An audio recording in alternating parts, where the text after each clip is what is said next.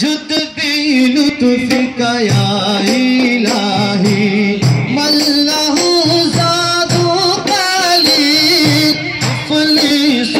بصدق يأتي عند بابك يا جليل يغفر خطايانا واحفظنا وارحمنا يغفر خطايانا واحفظنا وارحمنا وزدنا إيمانا